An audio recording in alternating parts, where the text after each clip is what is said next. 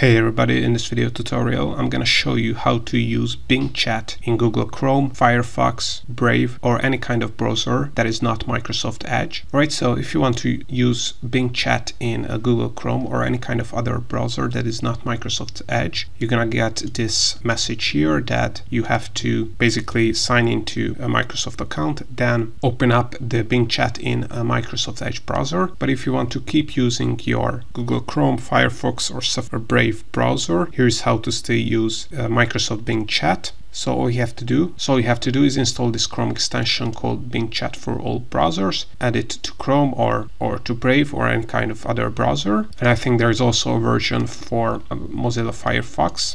And once you install the Chrome extension, you're gonna see this extension icon here. If you don't see it, click, click on the extension here and then pin it to this section and then you're going to be able to click on the extension icon here and click on open Bing chat. And as you can see although I'm using um, Google Chrome browser as you can see here I still can use Bing chat here. So let's ask a question to show you that it really works. So what are the best online brokers?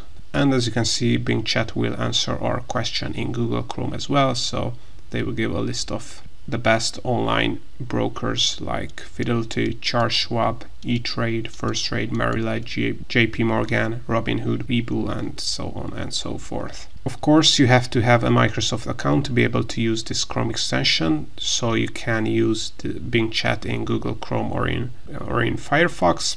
But all in all, this is how to use this Chrome extension to be able to use Bing Chat in any web browser.